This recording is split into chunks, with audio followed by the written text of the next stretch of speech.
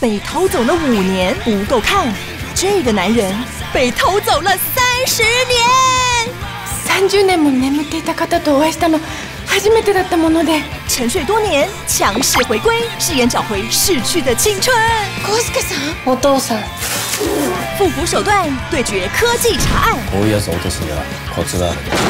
两代警界精英解谜大对决，谁能先解开三十年前的惊人阴谋？